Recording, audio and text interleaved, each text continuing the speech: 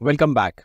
Now, in this video, we'll see about the new feature which is launched by Microsoft in 2023. The name of the feature is Clear All Slices. Now, first thing, this feature is already available in the Actions part. Now, it's not visible in the tab over here. It's visible in the backend, which is in the Format tab.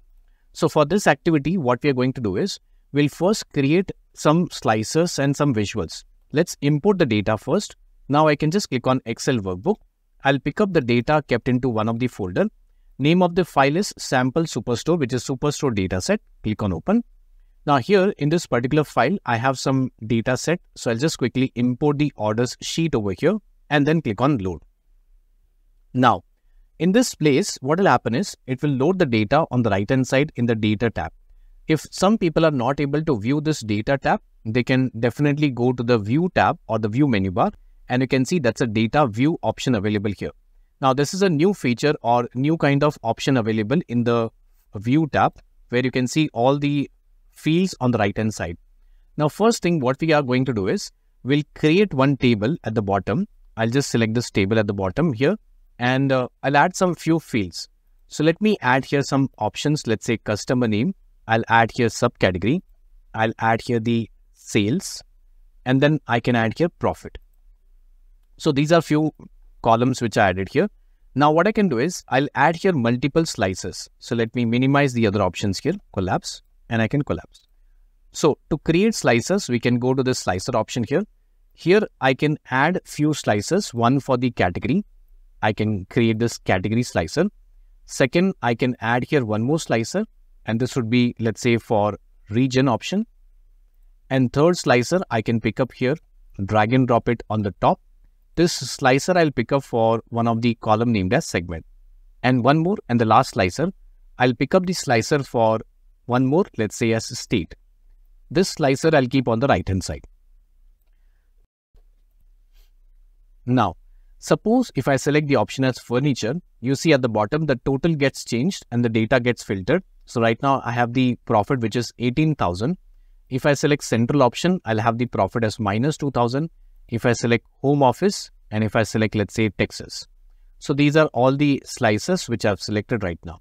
Now today, if I want to clear all the slices, what is the option I have? I have to deselect this option or I can just click on this clear selection option or again click on clear selection. And here it is difficult. I have to search the option and then I have to deselect the option here. Now this is very easy to understand. Now imagine if this particular slicer, if I have a kind of drop down option, what I mean by drop down, if I click on this format option, more options here. On the right hand side, if you see this is slicer settings option, here instead of vertical list, if I have a drop down option and this drop down becomes very small here. Now in this case, if I select some option, let's say as at the bottom, I'll select something, let's say as uh, New York. Suppose if I select New York. Now, if I want to clear the slicer, one option is I can click on clear filter or second option is I have to go down and deselect this option. This is very difficult.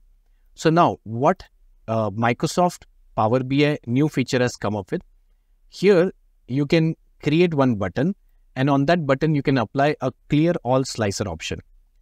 So I can go to the insert menu bar and here I have the option as buttons. In the buttons, I have the option given as clear all slices. So here if I select clear all slicer and I can just drag and drop it here. Now what is the beauty of this option? Here on this particular button, an action is already applied and you see the action is given as on. If I go down and find out, there's an action type named as clear all slices, which is already available, which is enabled. So my job right now would be just to do a little bit of cosmetic option. Let's say I can go to the text, increase the size of text, make it bold.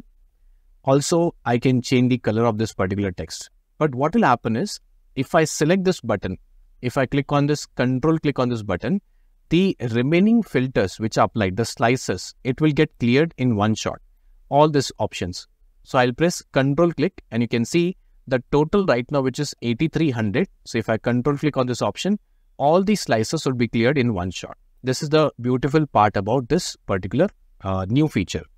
Now, along with this, we have also have a bonus option where I can apply all slices. Now, suppose if I select this technology west region, carefully observe this table at the bottom is getting changed for every selection. If I select home office. Now imagine if you have a beautiful dashboard, a very big dashboard over here or a report. Now the changes which are occurring, which are dynamic, which will reduce the performance of your report. Now this is a bit kind of uh, time consuming, energy consuming as well. So what Microsoft has brought is they brought here one more feature of apply all slices. When you select this apply all slices, I can just drag and drop it here. When you bring it, what will happen is here already an action is applied. The name of the action is apply all slices. Now when you select furniture, carefully observe the data at the bottom will not change. So if I select central, carefully observe it's 286,000. If I select home office, it is still 286,000. So this will only get activated. The slices will only be applied when I select the option is apply all slices. What is the benefit of using this feature? The performance of your report will not change. Okay, it will it will not be hampered. Now this is a very small data set of hardly 10,000 records. If I go to the data view, it's not more than 10,000 records. But in real time in the organization, you deal with data which is millions and millions of records. So at that time, performance plays a very important role. So in order to avoid the performance issues, this apply all slices plays an important part. So from here, I can select, let's say California. Now, when all these slices are selected, now if I think I am confirmed, I can apply that option. You see on the top, it is saying as not yet applied. Everywhere, it will give you the option here. Now, if I press control click on apply all slices, then you can see the value at the bottom and the data would be filtered. So when I say control click, you see now all the slices are applied and here the data is filtered. Now definitely the data is not there, therefore we are not able to see the data. However, I can click on clear all selection and now I can click on apply all slices. So you see it's minus 1198.61. So that is something which you can think of. Now this feature was not available in the previous year 2020 this feature has been added in the year of 2023. So what is the feature name? It is clear all slices and apply all slices in Power BI. Now this is on a single table. You can have multiple tables available on this particular report and this feature will work very clearly and very nicely on this particular report. I hope you have understood the feature about clear all slices and apply all slices in Power BI. That's all for this video.